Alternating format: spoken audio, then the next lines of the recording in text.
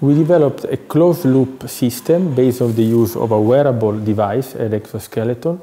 to detect the, the onset of falling and to uh, generate support to have balance recovery and to reduce the probability of falling. Quando indosso l'esoscheletro,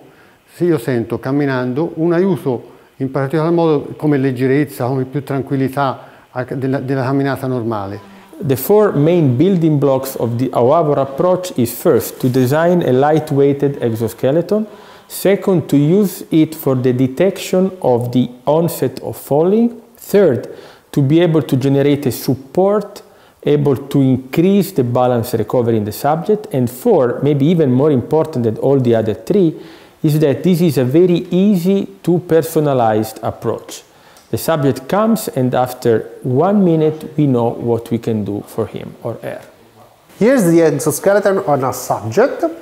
and uh, you can see the mechanical structure, you can see the motors, you can see sensor inside the exoskeleton, and also on the body you will see many, many markers to record the biomechanics of the movement while working and while managing the perturbation. When the perturbation will be delivered, he will uh, detect this abnormal lack of balance and then will tell to the motor to control the hip to push both the thighs in order to recover